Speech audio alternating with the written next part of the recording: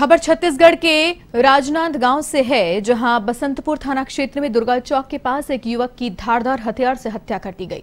सूचना मिलने के बाद पुलिस मौके पर पहुँची और घटनास्थल का जायजा लिया। साथ ही आरोपी को भी दबोच लिया गया।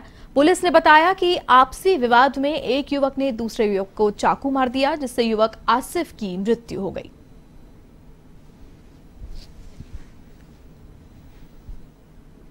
कल शाम में एक चाकूबाजी की सूचना प्राप्त हुई थी थाने बसंतपुर को।